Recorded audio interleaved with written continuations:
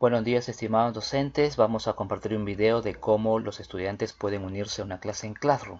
Ingresamos a nuestro correo institucional, nos dirigimos a los nueve puntos y buscamos la opción de Classroom.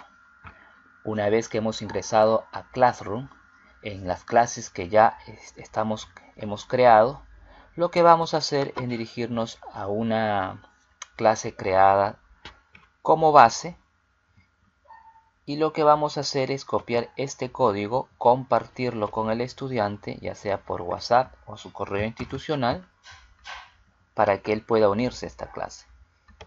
Vamos a suponer que el estudiante ingresó a su correo institucional, nueve, los nueve puntos, ingresó a la opción de Classroom y este estudiante tiene que unirse a una clase.